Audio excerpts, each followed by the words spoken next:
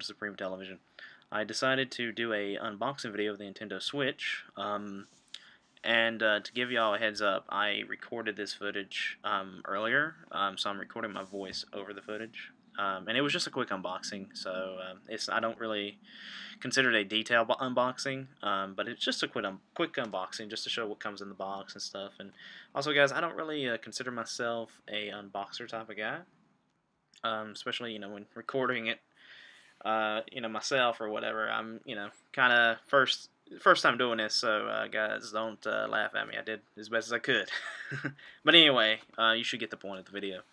Um, but anyway, um, the box, I really like the design of it. Um, I was surprised, like, how um, tiny it was. Um, the actual, you know, console was very tiny.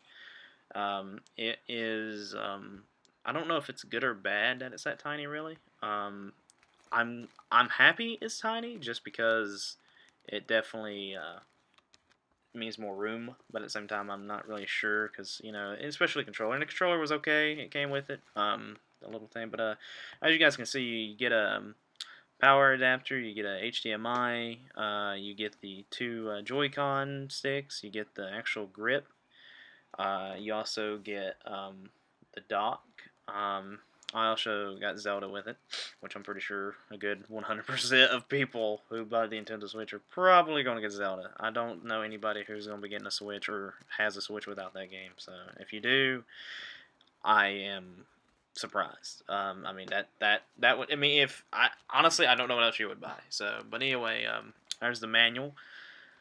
And like I said, this is just a quick unboxing, guys. Uh, I didn't really put a lot of effort into this. I just got home.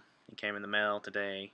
Uh, so I decided, you know, hey, you know, I'll do an unboxing video for you guys. I mean, I know there ain't many of them really, I guess, floating around. Just kidding. There's a lot of them. But anyway, I thought like, if I was going to do my first unboxing video, why not the Nintendo Switch, you know? Uh, you have two USB ports there, and the back backup opens there for you to plug in uh, other things. And I think there's another USB back there. Yes, there is. Um, but uh, it's it's it, it was um, it was kind of surprising. Like I said, like the it was more tinier tinier than I thought, if that's even a word. More, I don't know, it's just more smaller than I thought. Um, so uh, the Joy Cons actually was not bad. It was really comfortable. They had a really neat design. I kind of, if you've played with the Wii, I think you guys will understand like the you know, you know what they are and what they can do. But I do like them better. Um, they are definitely a lot more smaller, um, but that's not a big deal for me because I don't really think I have that big of hands. Uh, but most people do complain about their hands being too big for the controller and the Joy-Cons, but everybody's different, you know.